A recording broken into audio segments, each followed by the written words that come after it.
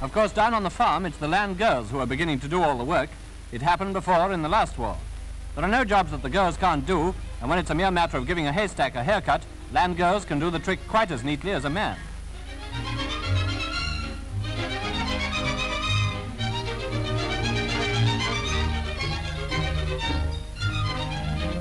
Everywhere in the country, the process of taking over from the men continues.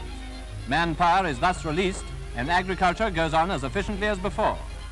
Britain prepares for a long war, hoping nevertheless that it won't be as long as her very thorough preparations anticipate.